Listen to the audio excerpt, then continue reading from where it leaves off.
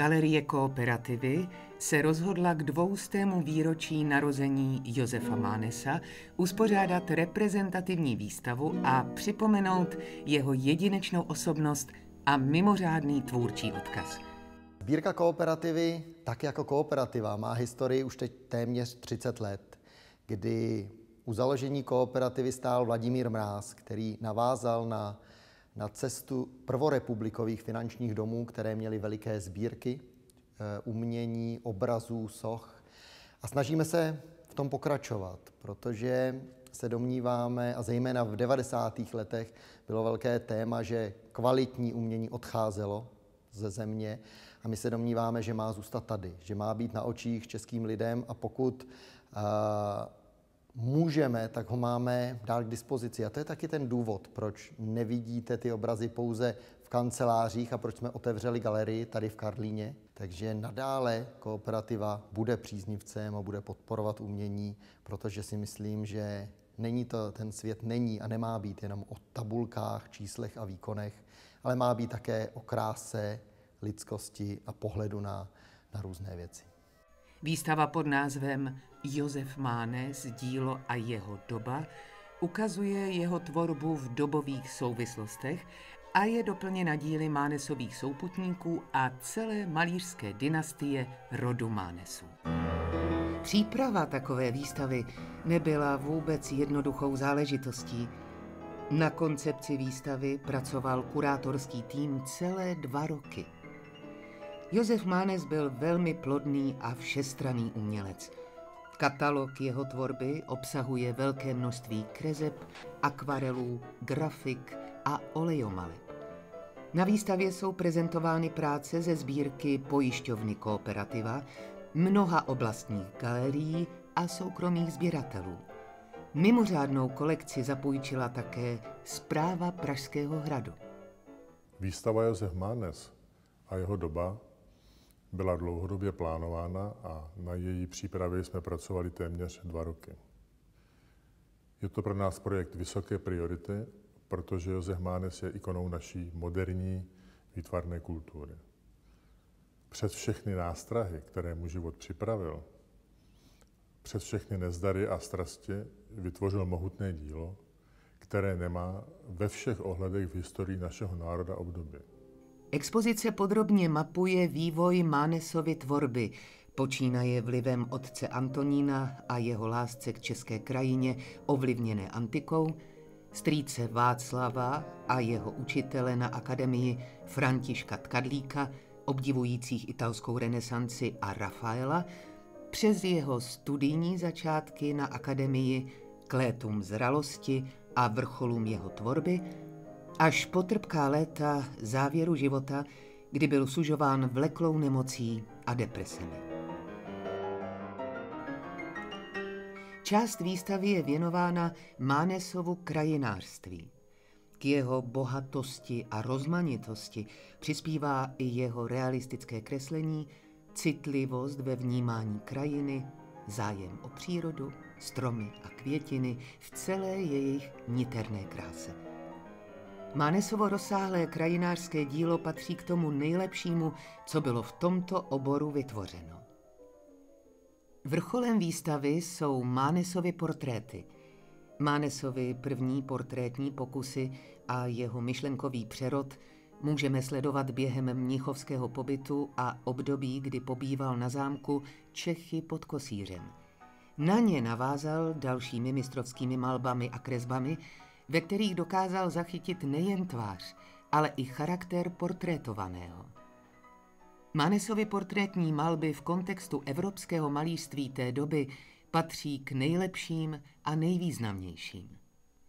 Na zámku Čechy pod Kosířem mimo jiné vznikl cyklus Život na panském sídle ve stylu druhého rokoka, zobrazující 15 dětských výjevů zámeckého života – Mánes často pobýval na zámku a portrétoval rodinu majitelů zámku, ale vedle těchto portrétů zde vznikly i vynikající folklorní studie a portréty obyčejných lidí z okolních vesnic.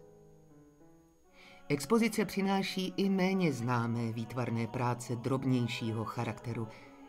Také těmto zakázkám se Mánes věnoval s pověstnou pečlivostí a tato unikátní dílka, jako jsou diplomy nebo dopisní papíry, svědčí o vzácnosti jeho talentu.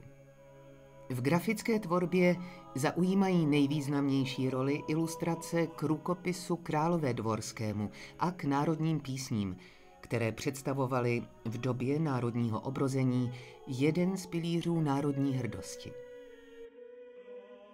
Dalším unikátem výstavy je desetidílný přemyslovský cyklus lavírovaných perokrezeb nejstarších českých knížat. Mánes v něm vytvořil imaginární portréty podle kopie Házenburského kodexu. Cyklus byl zapůjčen z Pražského hradu, kde tvoří výzdobu Mánesova salonku. Výstava dokumentuje také umělcovi zakázky do veřejného prostoru. Takovým veledílem je výzdoba dveří chrámu svatého Cyrila a Metoděje v Karlíně. Tomuto projektu se Mánes věnoval celých 20 let.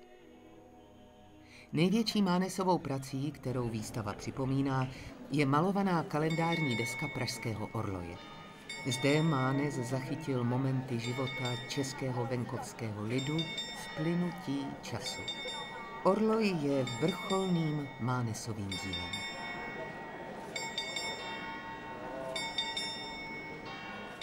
Výstava prezentuje díla sourozenců a současníků Josefa Mánesa. Vystaveny jsou obrazy jeho sestry Amálie a bratra Kvída, ale také Soběslava Hipolita Pinkase, Josefa Navrátila, Antonína Machka a Adolfa Kosárka. Část výstavy se dotýká smutného závěru malířova života. Mánesovo psychické onemocnění a deprese, které jej doprovázely a strpčovaly mu poslední léta jeho života. Jeho nemoc a osamělost se odrážejí v obraze Utonulý a v kresbě s názvem Mánesův sen. Jubilejní výstavou Josef Mánes, dílo a jeho doba styčila Galerie Kooperativa tomuto veskrze národnímu umělci k dvoustému výročí jeho narození důstojný symbolický pomník. Bývá zvykem obdarovat oslavence darem, který mu udělá radost. Zvláště pak, když je příležitost výjimečná. 200 let od narození našeho největšího českého moderního umělce je právě ten okamžik. Když se rodina a přátelé 12. prosince 1871 na Olšanech loučili s Josefem Mánesem, pochovali jen jeho tělesné ostatky, smrtelné tělo. Jeho duše zůstala, je nesmrtelná, je stále s námi. Proto symbolicky můžeme předat dar, který jsme my Mánesáci společně s kooperativou připravili k uctění slávy velkého a nesmrtelného Mánesa.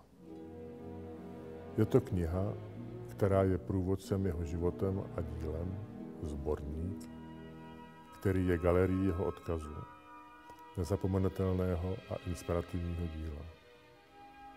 Velký mistře, milý Pepi, ať věčně žiješ. V této globální době možná víc než kdy jindy každý národ má vědět, kde má své kořeny a jaká je jeho historie. A to nejenom politická, ale také kulturní. A Josef Mánes bez sporu patří ke klíčovým osobnostem české kultury a myslím si, že stojí za to si vždycky připomenout, odkud pocházíme. Kooperativa je hrdá na to, že může svou galerií, díly ze své sbírky a řekněme i jistým organizačním umem přispět k připomenutí dvoustého výročí narození umělce, který naši kulturu, zemi, historii a tedy vlastně i nás nejen maloval, kreslil, ovlivnil, ale vlastně i spolu